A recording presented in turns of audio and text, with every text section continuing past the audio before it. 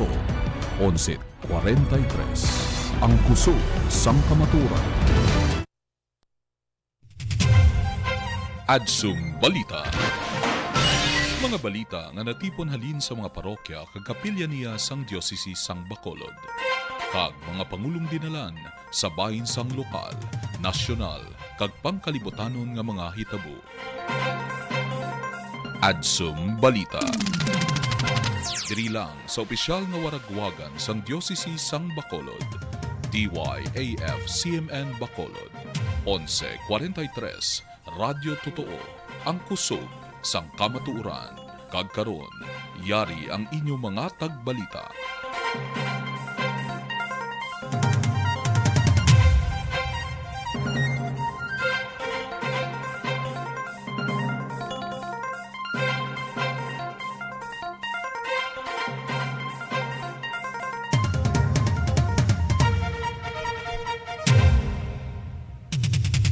Maayong aga dahil sa Bacolod, maayong aga sa tanan naton nga tagpalamati, Mayo 28, 2020. Webes nga adlaw kag ini ang Adsum Balita. Ako si Father Roy Christian Izogon. Kag ini si Julie Gonzalez. Kagyari na ang aton mga nagabaga nga mga balita. Adsum Balita. Department of Transportation igapaabot ang kabalaka sa Bacolod sa sea kag air travel sa National IATF. 111 kadugang ang mga OFW nag-abot na gikan sa Manila. Pila ka mga OFW nga nagabot sa Bacolod Silay Airport nagpalipas sang gabi. Kaso sang COVID-19 sa Pilipinas nagtaas naman, naglapaw na sa 15,000. Basilan naka-record sang pinakaunang nga COVID-19 nga kaso. Death toll sang coronavirus sa US naglapaw na sa 100,000.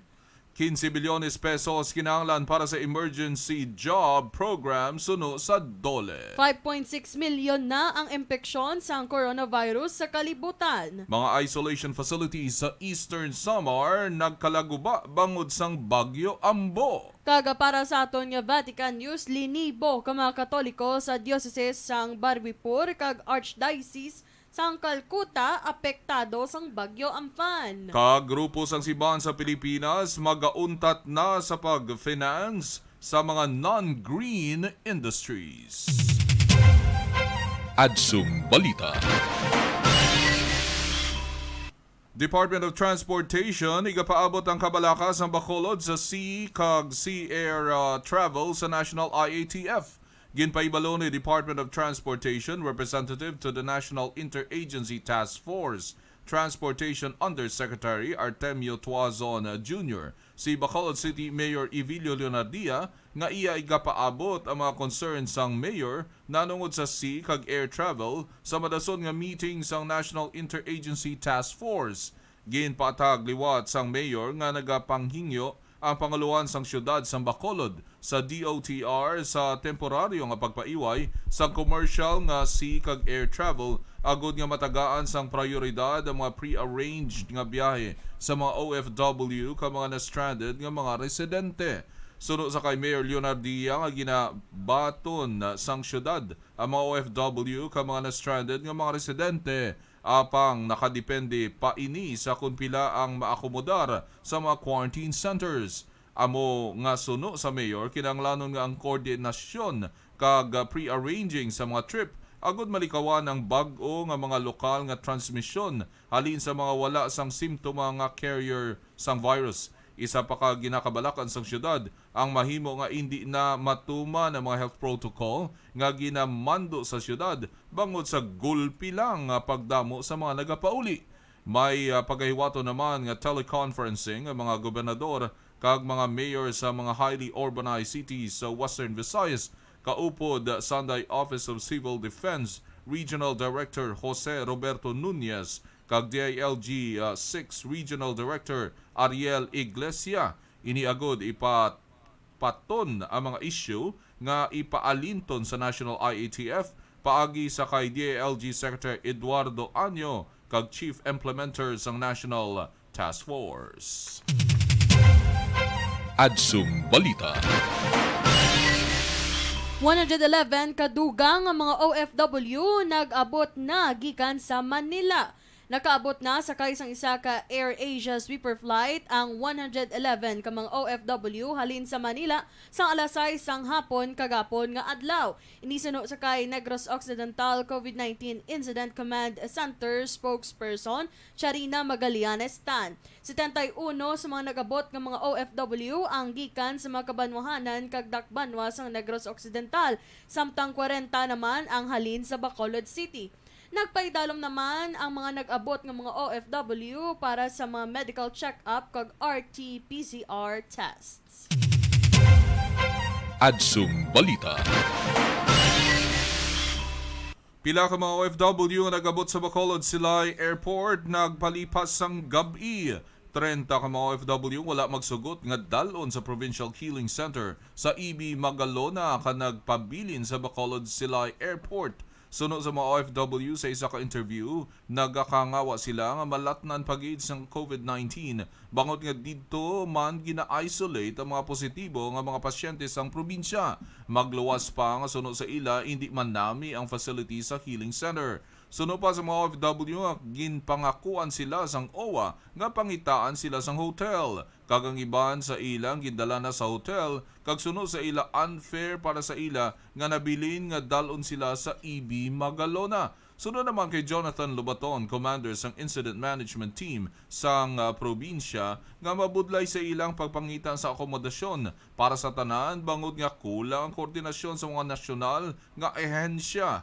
Amo nga nag-ayo lang nag-ayo lang sila nga tani mahangpan sa mga OFW nga temporaryo lang ang pagpadayon nila sa healing center sa EB Magalona samtang ginapangitaan pa sila sang masaylohan nga hotel. Dugang pa ni Lubaton nga wala sang dapat kabalakan sa Provincial Healing Center bangod nga nakaibalo na ang medical team kundiin sila ipahamtang nga layo sa mga na-isolate nga mga COVID-19 positive nga pasyente.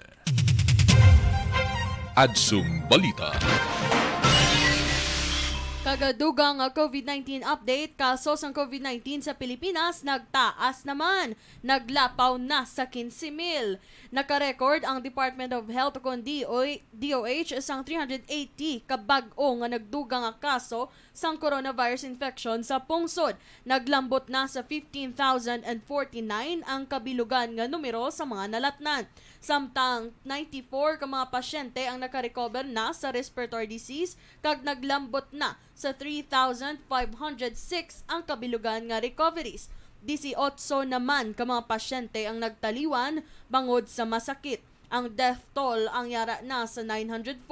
Sa mga na-record nga impeksyon, 10,639 ang mga aktibo nga kaso nga sa karon nagapaidalom sa treatment o kung nagka-quarantine. Ginaduso naman sa mga eksperto sa University of the Philippines nga hindi anay paghalugan ng mga restriksyon sa mga high-risk areas pangod nga dako ang tsansa sang transmisyon. Ini matapos ang rekomendasyon sa mga mayor sa Metro Manila nga i-downgrade na ang NCR sa General Community Quarantine sa tapos sang Mayo 31. Adsum Balita.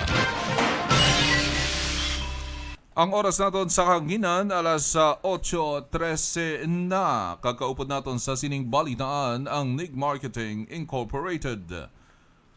15 bilyones pesos kinahanglan para sa Emergency Job Program suno sa DOLE. Inang balita kaiban pa sa pagbalik sa inyong programa sa AGA. Adsum Balita. Adsum Balita.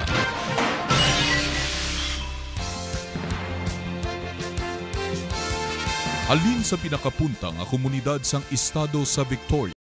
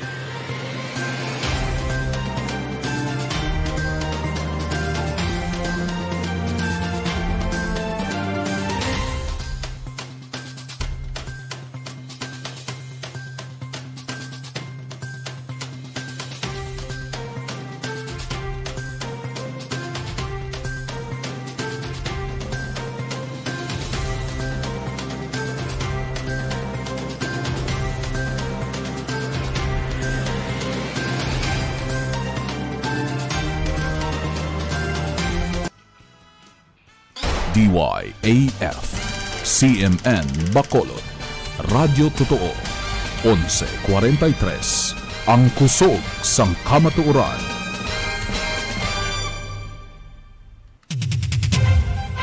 Adsum Balita Pabalik sa Adsang Balita Morning Edition, ini si Father Roy Christian Azogon, kaupod ko gihapon si Ms. Julie Gonzalez. Ang oras naton sa Daiz Bacolod, alas 8.26 na. Kakaupod naton sa sining balitaan ng NIG Marketing Incorporated.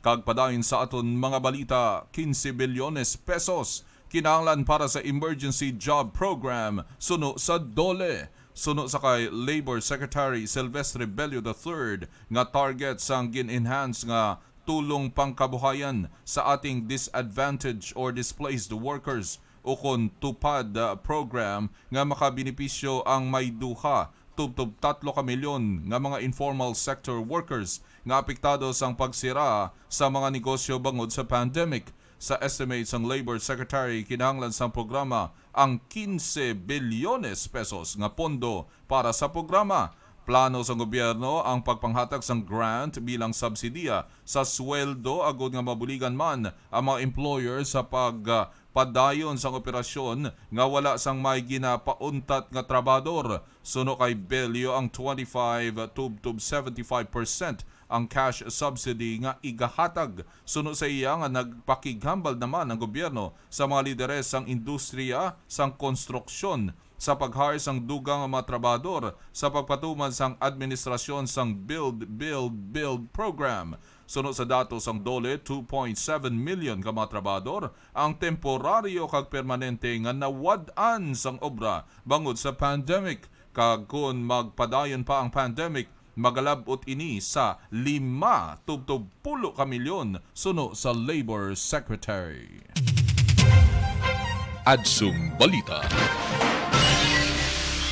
Death toll sang coronavirus sa US naglapaw na sa isa kagatos kalibo.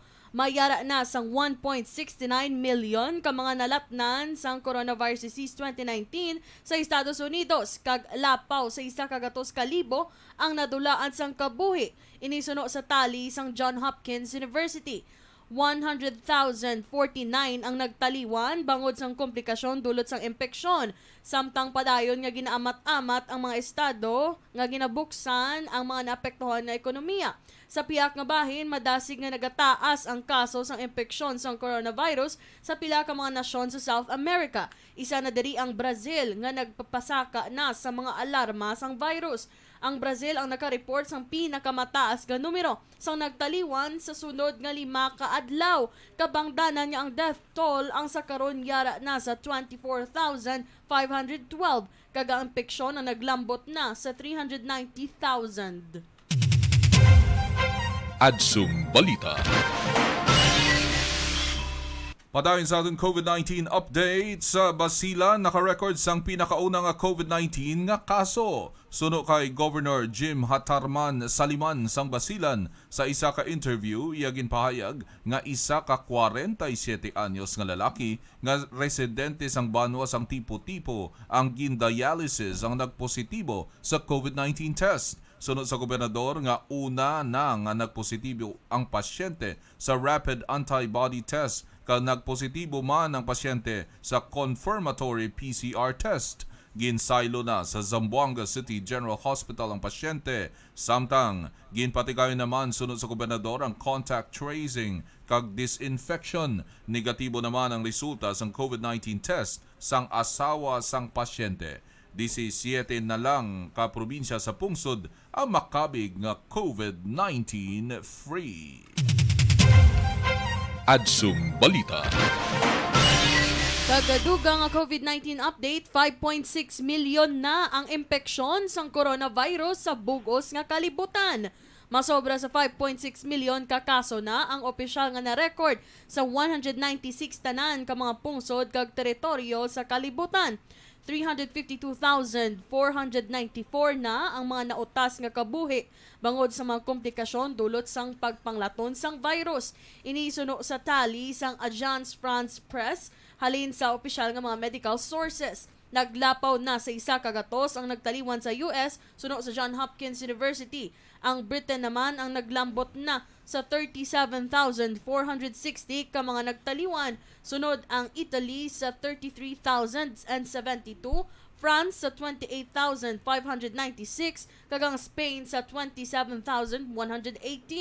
Nagtanyag na ang European Union sang 750 billion euro para sa post-virus recovery nga pondo para sa Europa. Adsum Balita. Mga isolation facilities sa Eastern Samar nagkalaguba bangod sang Bagyo Ambo. Nadulaan sa mga isolation facility ang probinsya sang Eastern Samar epekto sang bag- bagyo nga Ambo. Suno kay Governor Ben Evardone nga matamat na nga naubos ang pondo sa pag-rehabilitate sang istruktura matapos ang pagkaguba dulot sang bagyo. Dugang pa sa gobernador nga wala na sang pondo ang mga mayor sa pagpakaayo sang ila mga isolation facilities kag ang probinsya mismo ang nagatingwa na sa pagpangita sang pondo agod igasto may kapin apat kagatos nga bed capacity ang isolation facility nga nagkalaguba sang bagyo. 47,000 ka mga pamilya ang napektuhan sa bagyo, kagiban pa nga naguba nga isolation facility ang ginhimo man nga evacuation center sang kasagsagan sang bagyo. Adsum Balita. Ang oras naton sa dahi sa Bacolod alas 8.32 na. Grupo sang simbahan sa Pilipinas magauntat na sa pagfinance sa mga non-green industries. Inang balita kay Ban pa sa pagbalik sa inyong programa sa aga, Adsum Balita. Adsum Balita. DYAF, Sim Bacolod, Radyo Totoo, 11.43.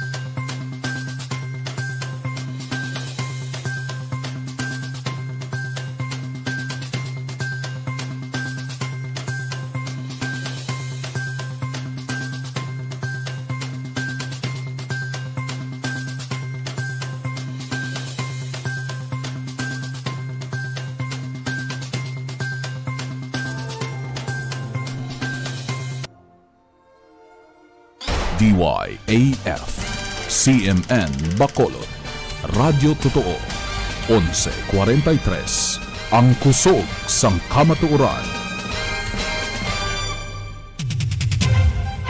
Adsum Balita Balik kita sa atong programa at sa Balita Morning Edition kay ginisig hapon ng inyo alaga Julie Gonzalez. Kaupod si Father Roy Christian Hesolgon kag kaupod man naton sa atong balitaan sini nga aga ang Niga Marketing Corporation. Oras sa kahanginan alas 8:43 na. Kag kadto kita sa mga balita gikan sa pangkalibutanon nga simbahan para sa aton Adsum Vatican News. Balita sang pangkalibutanon nga simbahan News from Rome Vatican News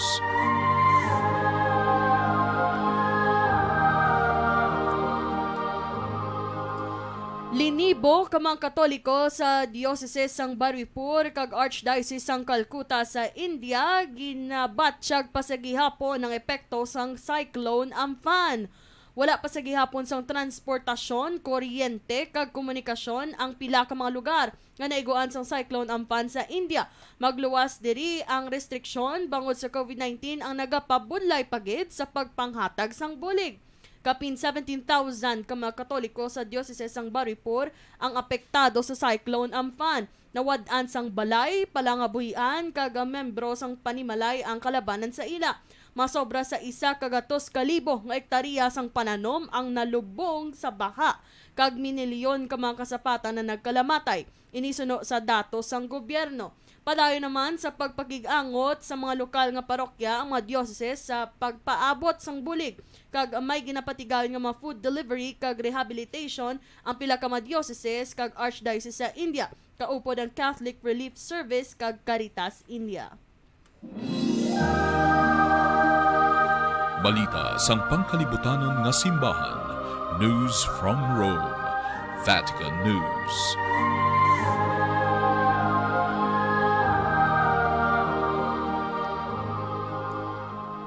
Grupo sang simbahan sa Pilipinas magauntat na sa pagfinance sa mga non-green industries. Isa ka grupo sa mga Pilipino nga mga obispo kag mga reliyoso nga kongregasyon ang nagdeklarar sang ila panaad sa paguntat na sa paggamit sa mga assets sang simbahan sa pagfinance sa mga industriya sang fossil fuel kaangay sang coal nga nagahalit sa palibot.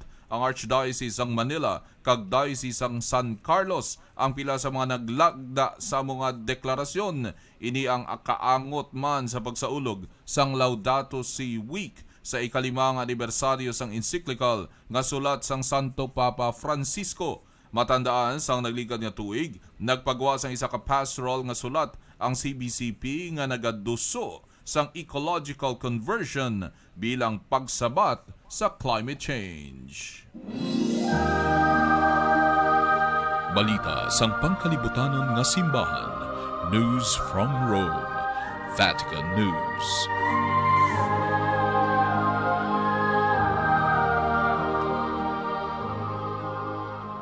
Ang aton oras sa kanginan, alas 8.46 na. Partner Julie, ti kanami no nga aton mabatian man nga padayon kita nga ginapanumdum labi na sining encyclical no sa aton Santo Papa about uh, ecological conversion kag may mga konkreto nga lihok ang uh, iban sa aton nga mga obispo labi na sa pagdihon uh, sining deklarasyon sa ila panaad sa pagpauntat sa paggamit sang uh, sining uh, pagsuporta sang uh, industriya sang fossil fuel kag coal no nga naghalit sa palibot. Yes, kag uh, uh, ti isama nina no sa pila na ka dako man naton nga ginaatubang nga krisis hindi lamang ang ining pandemic kundi ang aton man nga uh, klima. Kay ti ano bala uh, ka importante sang klima sa aton nga palangabuyan. Ti syempre ang basic ginaton nga palangabuyan diri sa Pilipinas we're an agricultural country. Ti gabase man dira ang atong pagtanom sa aton mga sa aton nga mga mangunguma Mm. ang sa pagpangisda. Ag ti syempre ti kita man eh nagaantos man kita naglabot na to gani uh, if correct me if I'm wrong naglabot nagligad sa at, at least 40 degrees ang heat index uh, sa Mm, National mm, Capital mm, mm, Region.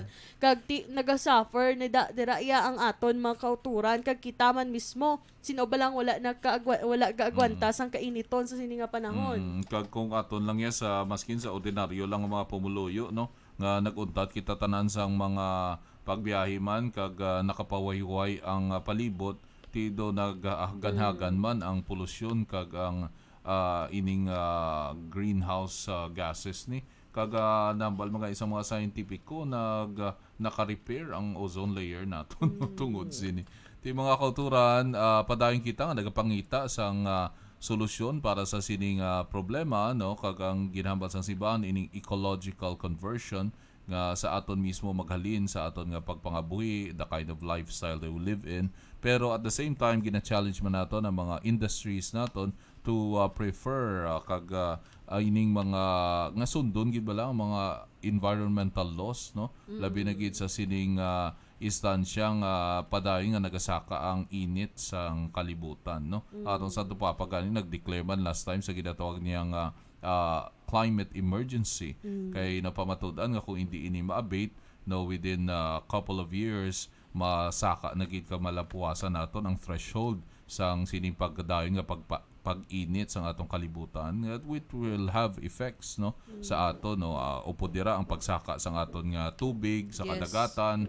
Kay nagamelt ang aton ice caps kaga importante ina no? Nga makita naton nga initanan na aton buluhaton kag kita tanan interconnected. Kagabuhi ang puntos ang aton Laudato Si nga week nga atong giselebra last week no? Sa pagpanumdum sa aton man sa mga sinulatan sang Santo Papa Francisco. Yes, kag isa na dira ang ginaduso man sang aton nga mga obispo diri sa ah, Pilipinas no? Nga ah, pag-untat na sa paggamit man tani sa mga industriya bala sa like for example sa mga fossil fuel kay gina-consider na siya nga non-green. Abot sing ganon hindi ah, mak- may halit makahalit siya sa aton nga environment.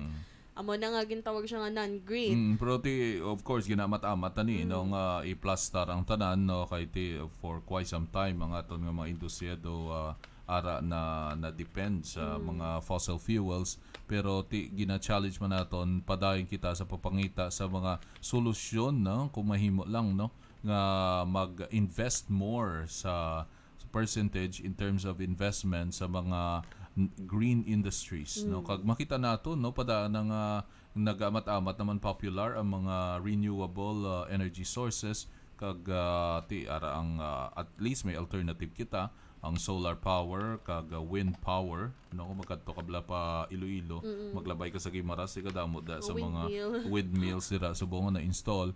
Kag of course diri sa Diocese Bacolod padayon makita nga nagpangita sang solusyon nga ma-use man ang solar energy no? Kag ah, mga lima ka institusyon sa Diocese Bacolod ang ah, nagsulod sinang solar power ah, as an alternative sa aton nga electricity ah, source no kag Yes. ah, sti- of course makita naton ara sa katedral sa may ah, Domus ah, Day no sa seminaryo naton ara man na install ang mga solar panels nga padayon kita yang nagapangita bilang simbahan man sa mga alternative energy sources. Yes, kag ti hindi man lang siguro ini ang isa ang isa man lang ini uh, father ka ka ano no?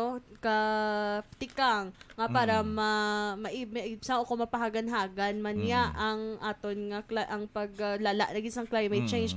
Pero sa aton mga kautura no? Hindi man niya nga ti hindi man niya tanan sa aton gid niya nga naga directly nga nagagamit sa mga fossil fuel.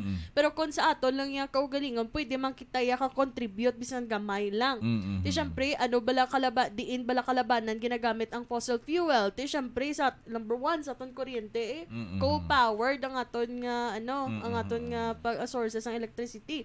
Ti pwede makita siguro katipid man mo na gani we're Oo, conducting yes. Earth Hour gani Oo. di bala father one hour siya nga gina off ang tanan nga masuga ang kuryente para nga makatipid kita sa kuryente. Mm-mm. Ti pasalamat man kita diya sa Negros ya kami palimpinon na ano ti geothermal ah, power plant ti do halintaya sa init halin sa duta ang aton nga kuryente.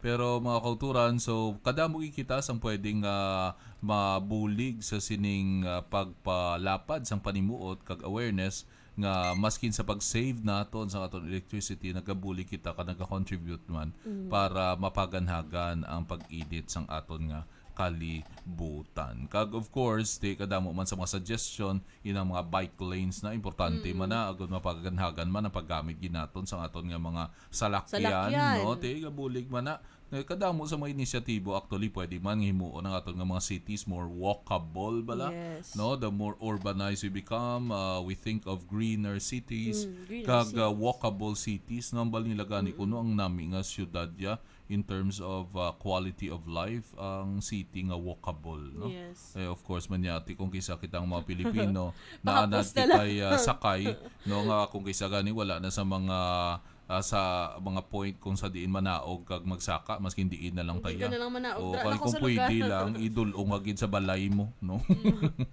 No ti ah, ti dapat i-rethink ni naton nga ah, the best cities are actually walkable cities no nga pwede kaya kalakat, pwede kaya ka liwa-liwa sa mga kilid kay may mga green ah, areas no ti ah, isa man naguro ka pagpanghangkat sa aton tanan. So it will take time no but sa sini mga jutay nga mga ginahimo naton labi na gid sa aton man niya makaya no Yes. sa aton nga Amat-amaton mahimo lang. amat-amaton naton kag nagasugod sa isa ka awareness no nga may mahimo kita paagi sa atong pagtipid sa kuryente para sa mga bagay mangyara sa atong panimalay para makakontribute sining awareness as to Laudato Si kag ining green uh, thinking no? Nga ma- mas green mas nami siguro no no kag importante na sa aton nga pagpangabuhi kay atong ginatipikan ang atong dunang manggad. Uh, partner Julie, ah, wala na kita masyado sang oras sa aton nga programa. Pasalamat kita sa padayon nga mga nagasuporta sa aton nga nagaupod gid sa aton sa aton pagpalayag sa adlaw-adlaw nga tanan. Yes, good morning. Kag madawin nga salamat sa tanan nga pamati kung naga-join sa aton nga adsum Facebook live stream. Kag aton lang pasalamatan no. Hindi ta lang po imit ng mga ngalan sa iba naton kay kado kadamo ginagapamati sa aton sa radyo. Especially gid sa mga nagpamati na kaginahalin sa aton nga pag-sign on sa mga misa. Thank you so much gid sa inyo pagsubaybay diri sa mga programa sa DYAF CMN Bacolod. Kag uh, syempre aton pasalamatan aton mga live streamers sa Adsum Facebook Live. Kag good morning kag madamo gid nga salamat sa imo nga pag-tune in kay Candelaria Villarinia Huerte. Kay uh, Flosser Pintribo, good morning. Margarita De Leon Mijares, Eli Andres, hello dira sa uh, Maaw, Maaw. Barrio Maaw. Good morning. Kay Melchorita Ferrer, Luz Biminda Olarte, Ron, Father Ronald Quijano, good morning. Good morning, Father Ronald. Carmen Felisa Chua, uh, Lirio Lemoncito, good morning. Malu Alvarez Tan, kag Lovell Robert Kimpo. Ka good morning man sa aton mga kaupo dira ang akon nga teacher sa English gid. Ma'am uh, Jen Ciliado, thank you for tuning in. Uh, Lorna Tiad, thank you so much. Joveline uh, Salvatuna, Ami uh, Togle, Cecilia Maghari, Maria Teresa Donasco, Quezon, Loville uh, Robert Kimpo, Hello kag kay Miss Pai no si Miss Pai nga radyo wala gid gauntat halin sa pagbukas ang radyo hasta nga mag-sign off kita nakatutok gid siya sa DYFCMN Bacolod. Thank you so Wow, thank much you. sa suporta no. Kag uh, hello man kay uh, Taremia Dayo nambal niya good morning Diocese of Bacolod. Adsum Balita DYF Father Roy and Miss Julie. Happy Thursday and God bless. So nauso na nabla subo ang happy, Happy Thursday.